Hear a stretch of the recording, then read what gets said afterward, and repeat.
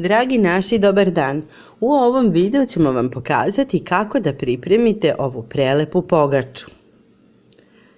Sledi video recept. U naravno toplo mleko dodajemo suvi kvasac i to ćemo promešati i ostaviti sa šećerom i ostavit ćemo par minuta da kvasac krene da radi.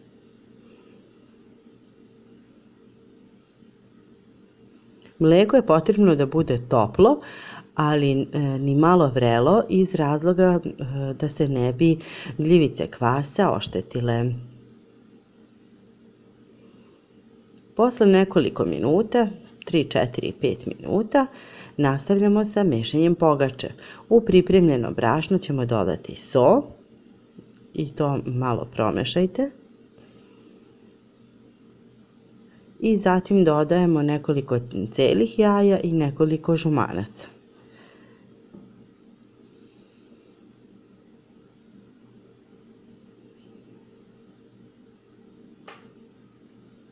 Ulje.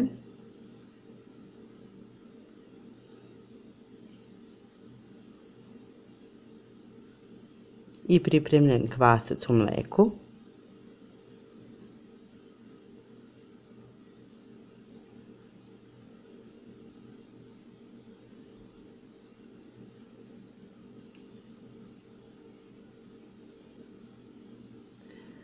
i e, napravit ćemo testo od ovoga. Prvo ćemo sa varjačom umutiti, a zatim ćemo raditi testo rukama 5 do 10 minuta.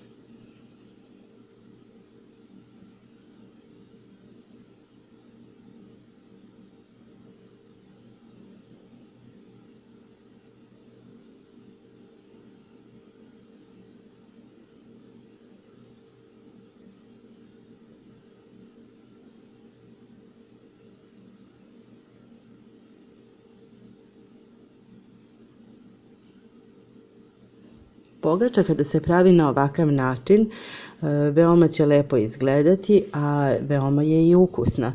Čak je, ako je jedete sutradan, e, još ukusnija, tako da obavezno to preporučujemo.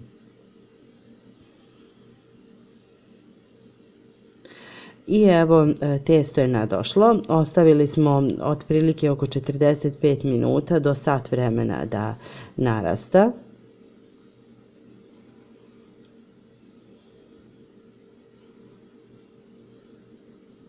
I potrebno je još malo razraditi testo rukama.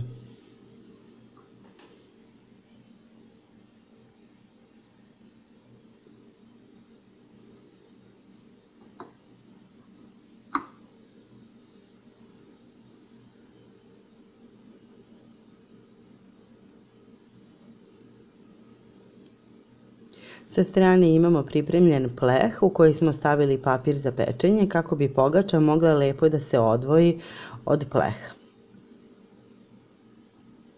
Ako imate okruglu tepsiju, u njoj je najbolje peći pogaču koja je okruglog oblika iz razloga što kada bude narastala, ona će poprimati oblik pleha u kom se nalazi.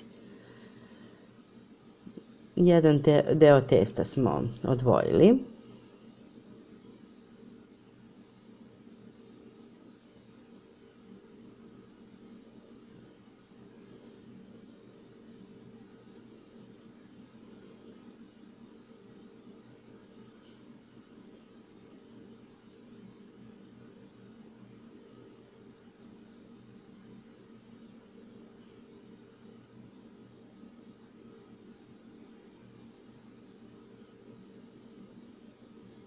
Drugi deo.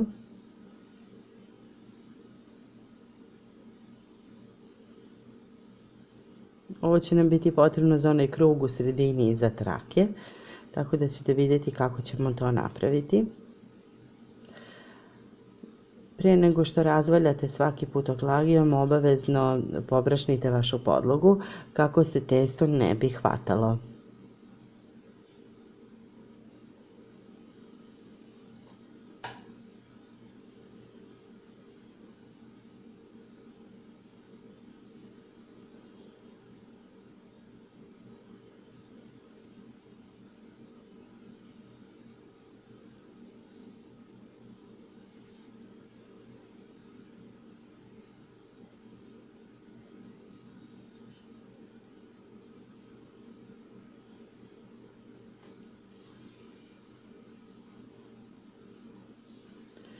Sada ćemo razvaljati ovo testo da bude tanko. Ne baš mnogo tanko, ali da bude tanko jer ćemo od ovoga praviti trake.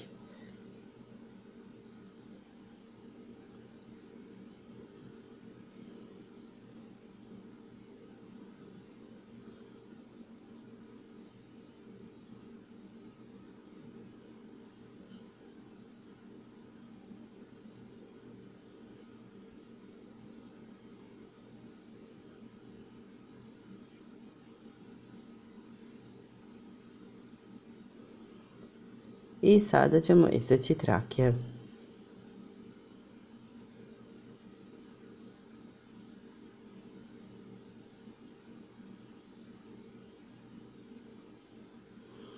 Ove isečene trake ćemo iskoristiti tako što ćemo preko ovog drugog tela testa koji smo ostavili uh, isplesti korpu i vidjet ćete to je vrlo jednostavno, samo se neizmenično uh, trake prepliću a ono što bude preostalo od samih traka bit će nam potrebno za ružice koje ćemo takođe veoma lako e, staviti, formirati i staviti preko testa. Pogledajte video do kraja i u celosti kako biste mogli da vidite kako da napravite e, pogaču. Evo ovako, znači prvo jednu traku stavljamo na sredinu.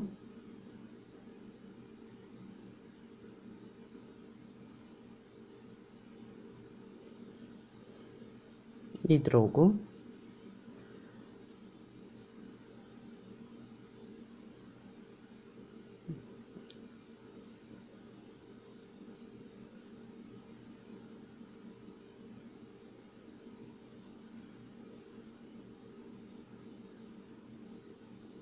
Podižete jednu traku dok namestite drugu. Tako da se neizmenično prepleću.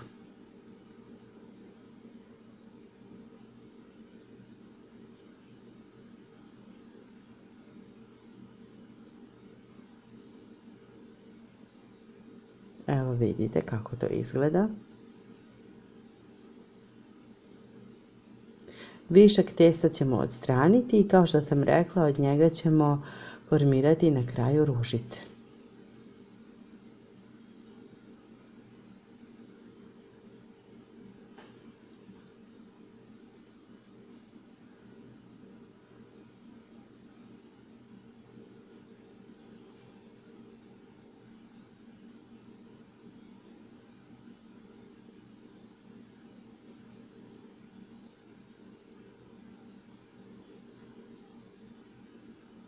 Grijanu smo već u ovom momentu uključili na 220 stepeni. Imajte pripremljenu uvek kada pečete neku pogaču ili bilo kakvo testo. Uvek imajte pripremljenu alu foliju. Ako krene testo da a, se jače peče pri vrhu, samo pokrijete i a, ostavite i dalje u redni kako bi se sa svih strana ispeklo.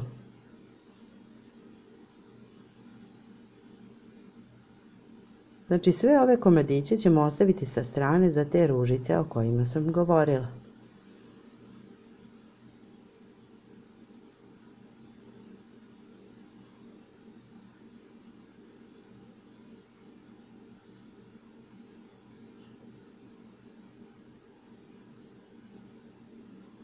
I ovako ispletenu lopticu ćemo staviti u tepsiju na papir za pečenje. Stavite to u sredinu, popravite ivice ukoliko je potrebno.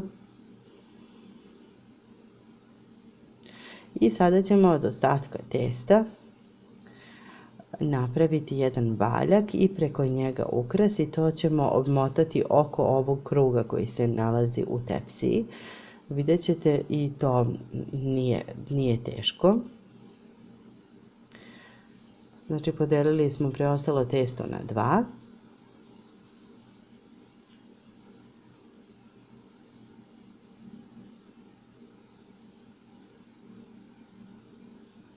I sada rukama napravite jedan valjak.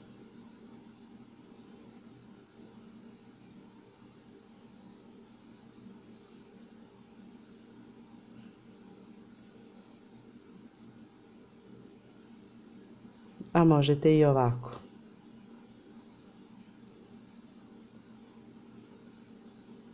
Potrebno je dovoljno ga rastanjiti kako bi mogao ovaj valjak da se obmota oko kruga koji smo stavili u tepsiju. Znači to je ideja. A preko njega ćemo staviti još neke ukrase, vidjet ćete kasnije. I evo jedan valjak je formiran. Sada smo razvaljali testo otprilike da bude dužine kao i ovaj prvi valjak i onda e, ćemo dalje praviti ukus oblike.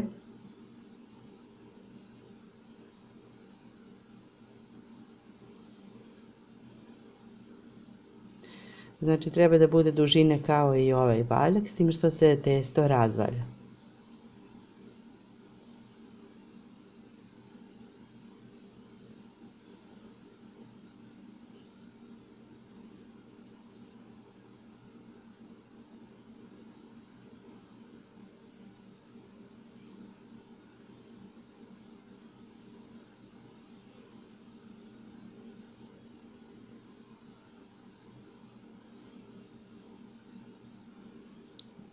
I sada ćemo zasecati na svakih pola santimetra santimetar. Pravit ćemo ove zas, zase, zaseći ćemo.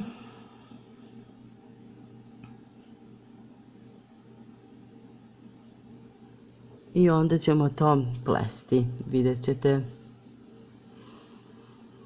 Ništa nije komplikovano. Možete i sami to da napravite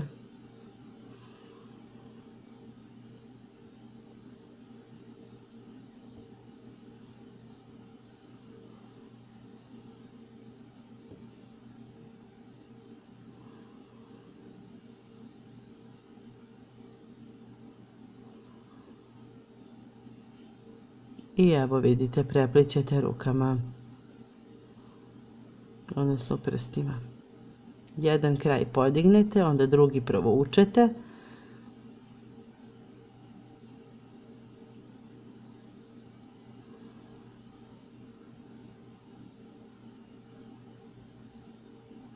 I tako redom. Sada ćemo prići malo bliže sa kamerom da vam pokažemo kako to izgleda.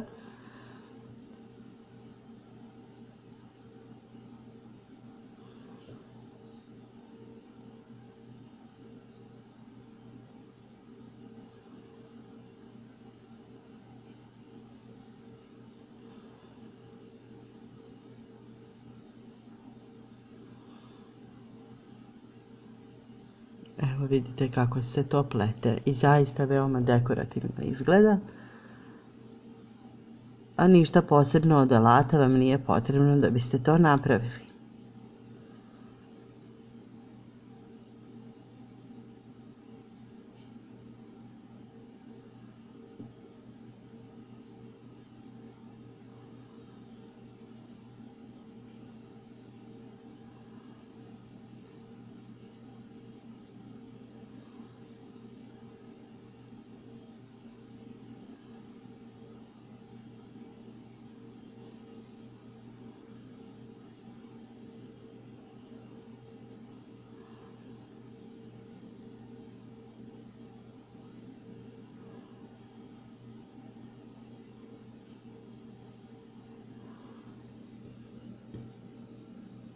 I ovako ispleteno testo ćemo staviti preko ovog prvog valjka.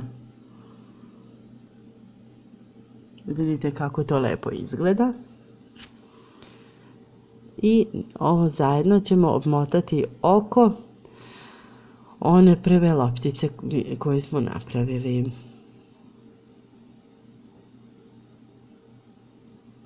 Spojimo testo.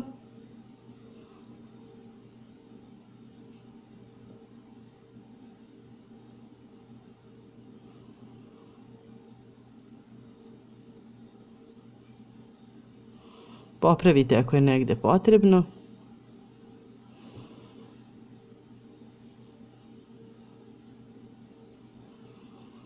I sada ćemo praviti ružice, a posle toga ćemo premazati pogaču i staviti je odmah u rernu kako ne bi previše narastala, da se ne bi poremetili oblici. Evo vidite kako se prave ružice, samo od ovih ostataka od traka, njih znači uvaljate i stavljate na pogaču. Ništa jednostavnije.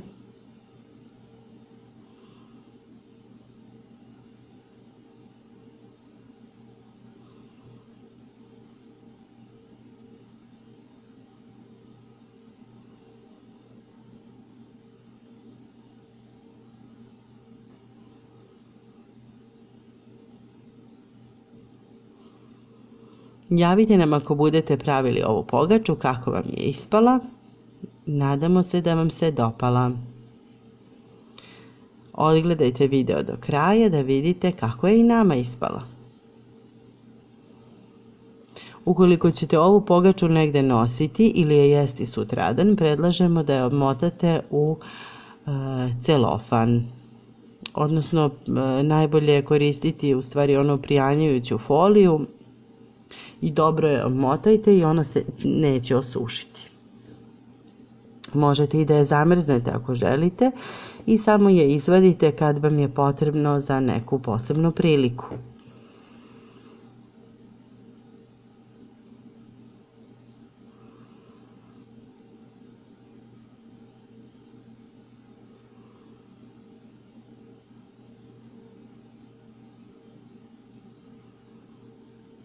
I evo to su ružice. Sada primazujemo sa jajetom u koje smo dodali kašiku mleka.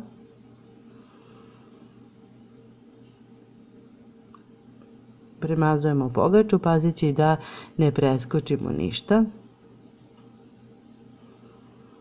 Dobro namažite ovaj deo oko ružica kako se one ne bi odlepljivale.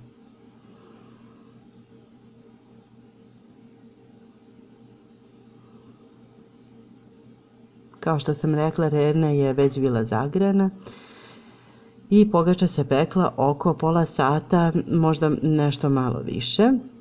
Zavisi kako vaša rerna peče. Puno pozdrava od Milice i Mire. Prijetno!